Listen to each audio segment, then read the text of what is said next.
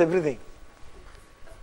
When you when you learn Upanishads, people belong to Muslim, Islam, Islamism, Christianity, whatever. A Christian will become a better Christian. A Muslim will become a better Muslim. It's a man-making process. The same way, Ayurvedam is a science which can modify the person as a whole positively, and we can evaluate the whole world on the basis of Ayurvedic principles successfully. So anybody, any uh, healing practitioner, when they learn the principles of Ayurveda, it has got universal approach. They will be benefiting more and more, and they can apply their own science in a better way. Ayurveda, Ayurveda will complement everybody. So we can People- introduce as an elective here. Yes, definitely. So, uh, I'm sure uh, there are some more questions. I see hands going up, and we would like to hear a little more from Dr. Raghavan. But uh, temporal constraints. Uh, we hope uh, we really enjoyed not just the talk, but your stay. We benefited from your stay. That is the word. We are grateful to you for having taken so much time.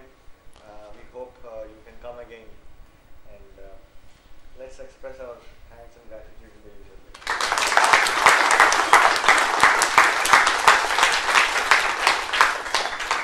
So significant time I have spent throughout my life. It's interaction between people who are highly evolved in education, well informed, intellectuals, and spending this much time for our ancient science, I have got my own real gratitude to be expressed, each and every one. I, it is unforgettable and I pray God all who listen to this we must get the benefit of what all things we have discussed.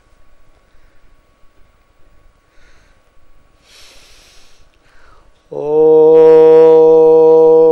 वाङ्मे मनसि प्रतिष्ठिता मनो मे वाचि प्रतिष्ठितम् आविराविर्मयेति वेदस्य माणिस्तः श्रुतं मे मा प्रहासीः അനേനാധീതേന അഹോരാത്രാൻ സംദധാമി ഋതം വദിഷ്യാമി സത്യം വദിഷ്യാമി തന്മാമവതു തദ്വക്താരമവതു അവതു മാം അവതു വക്താരം അവതു വക്താരം.